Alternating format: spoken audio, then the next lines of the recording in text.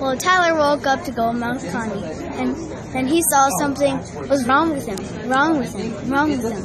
And he said, "Oh Lord Jesus, I have bronchitis." And he said, "Oh Lord Jesus, I have bronchitis." And he said, "Oh Lord Jesus, I have bronchitis." Jesus, Jesus, Jesus, Jesus. Tyler doesn't have time for that. Tyler doesn't have time for that. Tyler doesn't have time. Tyler doesn't have time. Tyler doesn't have time for that.